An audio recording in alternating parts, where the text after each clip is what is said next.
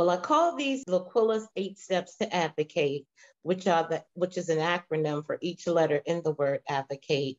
The first step is always journal your feelings, your symptoms daily or weekly. D, do this because you love yourself. Each day will get better. And in doing these things, you will have a victory.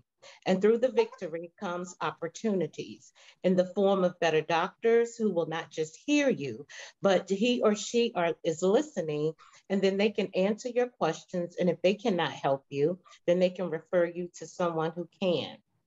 Count on you count on you because you may not understand what's happening to you, nor do you have time to explain what is happening to you, to people, because it slows down your pro- pro- process and progress. Advocate. Once you have mastered steps one through five, you can advocate for yourself as well as others. And with doing that, you both give yourself strength. Now you can build your team. You build a team of supporters, and that's step seven. You build a team of supporters and caregivers because you now have a better understanding of your rare disease, and you can help your team understand what your needs are and how they can help you best.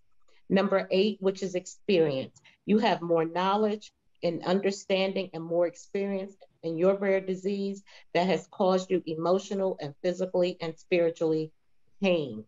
And I also want to add, but we can also turn that, what I call the PSP, which is pain and suffering, we can turn it into power. Mm. And that's it.